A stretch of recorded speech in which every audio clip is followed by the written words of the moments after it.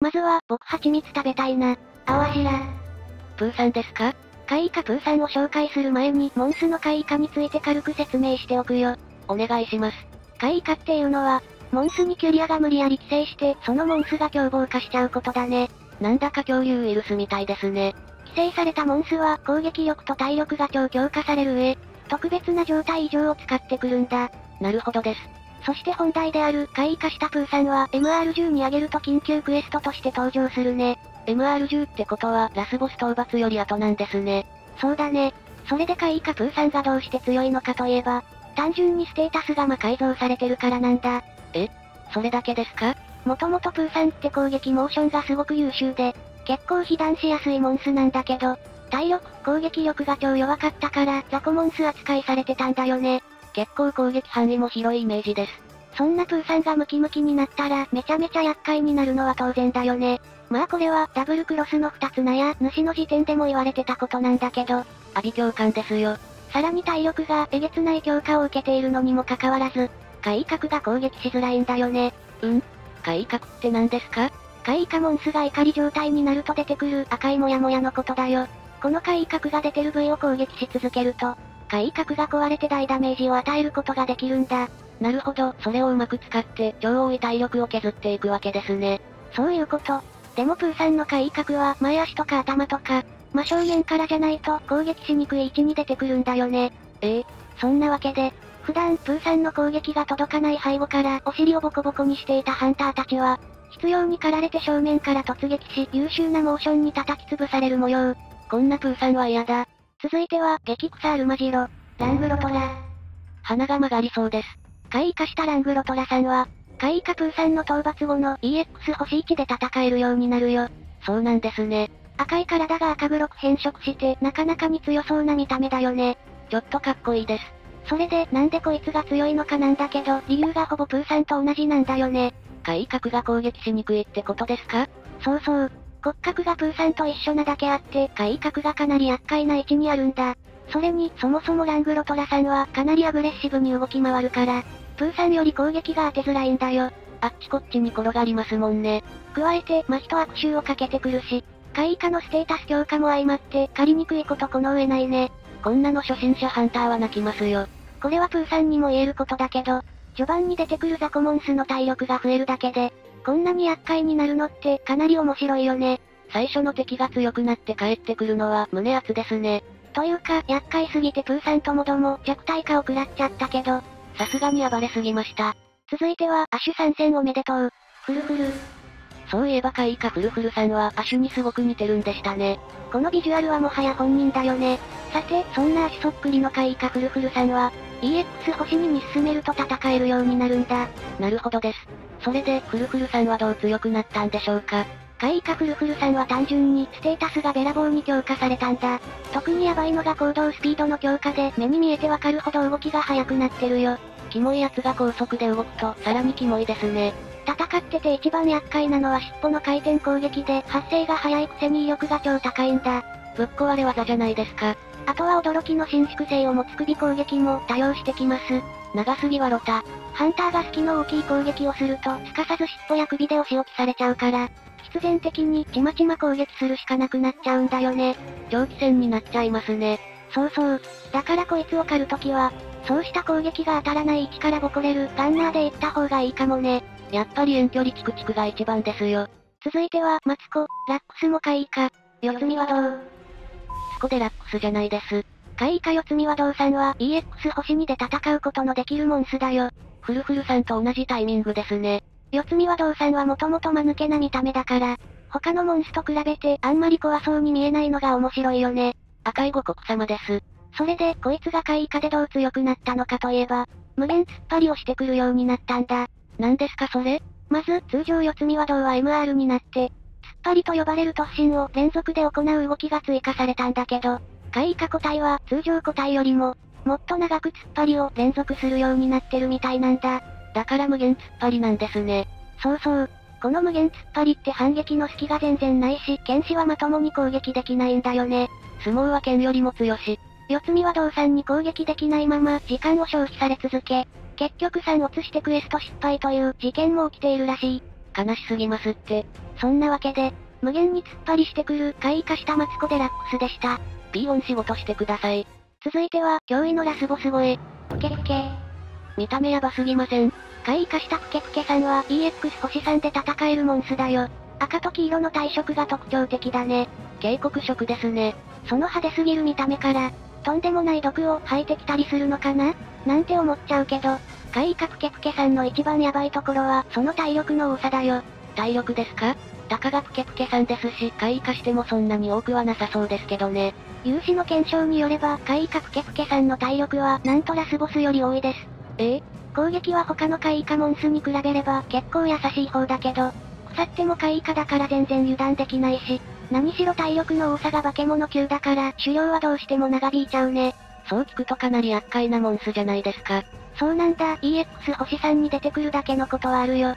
というか同じ EX 星3の怪異化レイヤより怪異ケプケプケの方が強い。とまで言われてるくらい厄介だね。レイヤさん超えてるのは強くなりすぎですって。主に体力に超強化を受けたプケプケさんだけど、こんな感じで今まで弱かったモンスが怪異化で化けるのってかなり面白いよね。さすがカプコンさんですよ。続いては、驚異のプケプケ声。リオレア。うん？プケプケ声さっきプケプケさんの方が強いって言ってませんでした？それは一旦置いといて、怪異化レイヤさんは EX 星3で戦えるモンスだね。通常レイヤーさんを少し赤くしたような見た目になってるよ。かなりかっこいいです。それで本題のどう強くなったかなんだけど、体力が大幅に強化されたんだ。それだけですか？いや、もちろん攻撃力も結構な強化を受けてて、被弾すると大ダメージなのは間違いないんだ。ほうほう。でも、いかんせん行動パターンがほぼ通常時と変わらず、通に対処できちゃうんだよね。え？えだから、それを考慮してなのか、体力が異様に多いってわけだよ。実際どのくらいの体力なんですか？それは、ラスボスを超えた怪異かプケプケさんを優に超えてくるレベルのものだよ。ラスボスさんの達成が、でもさっき言ったように行動パターンは通常種のまんまだから、強さで言えば怪異かプケプケさんの方が上かな。体力だけはプケプケさん超え、ってことだったんですね。そういうことだね。これは以前にあった歴代モンス体力トップ15でも言われてたけど、体力の多さイコール強さにならないのがめちゃめちゃ面白いところだよね。ほんとよくできてますよ。続いては、悪い子稲が、ゴシャハギ。生ハゲさん。怪異化したゴシャさんは EX 星4で戦えるようになるモンスで、通常のゴシャさんを赤くしたような恐ろしい見た目をしているよ。こんなのに襲われたらちびっちゃいますよ。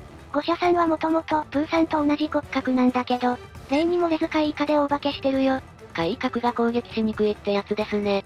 そうそう。しかも、もともと高い攻撃力を持ってたのに、怪異化でさらに強化された結果、剣士ですらワンパンしちゃうほどの化け物火力になってるんだ。恐ろしすぎません？さらに、他の怪異化モンスは、怪異角を破壊すると疲労状態になって攻撃のチャンスになるのに、ゴシャハギさんは疲労状態にしてもあんまり通常状態と変わらないんだよね。ええ？他のモンスより隙がないってことですか？そういうことだね。加えて、怪異家ゴシャさんにはもう一つ強い点があるんだ。まだあるんですか？サンブレイクではマルチプレイの時、人数に応じてモンスの体力が増えるほか、V 破壊の耐久値も増える仕様なんだけど、それが怪異かゴシャさんを狩猟するのに結構なデメリットになっちゃうんだよね。どういうことですか？ゴシャさんが手にまとう氷の刃って破壊すると大ダウンさせられるんだけど、マルチだと全然破壊できなくなっちゃうんだよ。そうなると確かに攻撃のチャンスが減っちゃいますね。そうなんだ。プーさん骨格、超絶火力、攻撃チャンス少ない、っていう感じで、ゴシャさんは怪異かと悪い意味で相性が良すぎるよ。これ、控えめに言ってヤバくないですか？さすがエンドコンテンツですよ。何よりヤバいのは、そう、5分でカルプロ班がいるところ。本物の化け物はハンターでした。続いては、極悪人よ。磯根ミクニアシ。新モンスですね。怪異かミクニアシさんは EX 星4で戦えるようになるモンスで、ちょっとグロさを感じる体色をしてるね。魚っぽい体に真っ赤な色はかなり生々しいです。ミクニアシさんは素早く大きく動くから、一つの部位を狙って攻撃するのがかなり難しいんだよね。だから怪異角が破壊しにくいんだ。やっぱり大会以下でキーになる怪異角が攻撃できないと、きつい戦いになっちゃうんですね。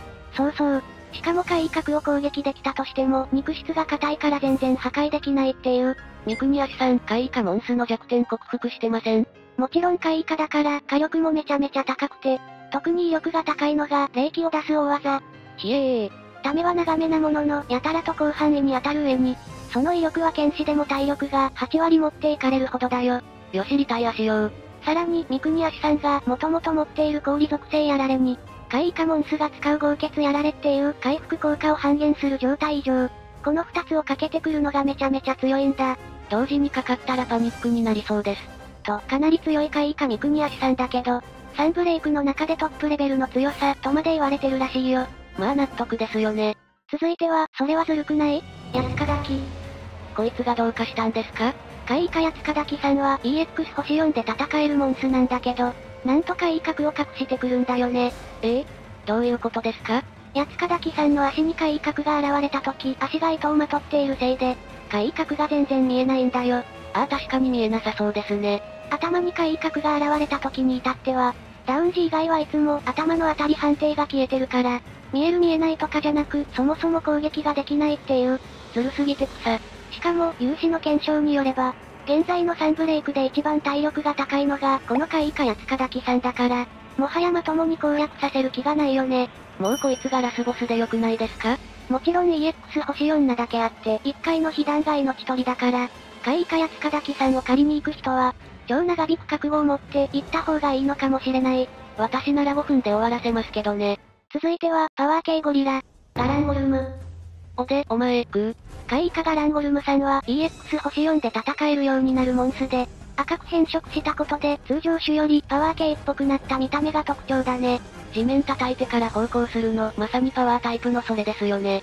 それでこいつが怪異化でどう強くなったのかといえば、元から高かった攻撃力が怪異化によってさらに爆上げされ、すべての攻撃が致命傷レベルになっちゃったんだ。やばすぎません？特に右腕を爆発させて飛んでくる攻撃は速い上に当たり判定がでかくて避けにくいし、さらにすぐに別の技に繋げてくるから本当に厄介なんだよね。聞いてるだけで怖くなってきました。怪異カモンスの中でも上位の火力を持ってるってだけで、こいつのヤバさがわかると思うんだ。